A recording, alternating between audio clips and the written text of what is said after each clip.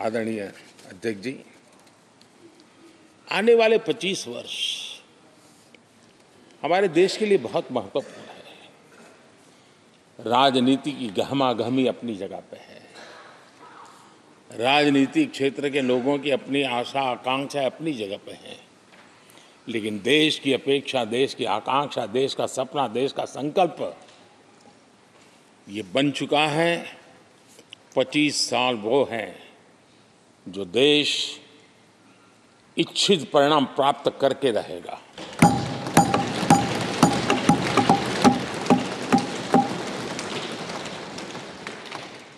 उन्नीस सौ तीस में जब महात्मा गांधी जी ने दांडी की यात्रा की थी नमक का सत्याग्रह था, घोषणा होने के पहले लोगों को सामर्थ्य नज़र नहीं आया था। चाहे स्वदेशी आंदोलन हो चाहे सत्याग्रह की परंपरा हो, चाहे नमक का सत्याग्रह हो, उस समय तो घटनाएँ छोटी लगती थी। लेकिन 1947 वो 25 साल का कालखंड, उसने देश के अंदर वो जज्बा पैदा कर दिया था। हर व्यक्ति के दिल में वो जज्बा पैदा कर दिया था कि अब तो आज़ाद होकर रहना है। मैं आज देख रहा हूँ कि देश में वो जज्बा पैदा हुआ है। हर गली मोहल्ले में हर बच्चे के मुँह से निकला है कि 25 साल में हम विकसित भारत बना के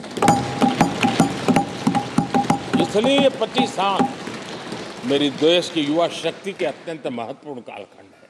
और हम में से कोई ऐसा नहीं होगा जो नहीं चाहता होगा कि 25 साल में देश विकसित भारत न बने। हर किसी का सपना है।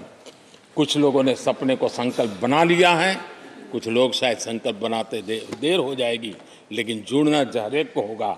और जो जुड़ भी नहीं पाएँगे और जीवित होंगे तो फल तो ज़रूर खाएँगे ये मेरा